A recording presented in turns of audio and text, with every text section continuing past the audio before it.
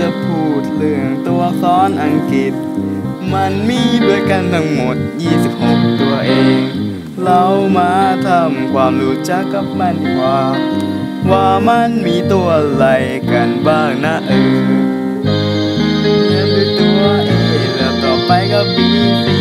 เสร็จแล้วก็ไป D E F G H I J K L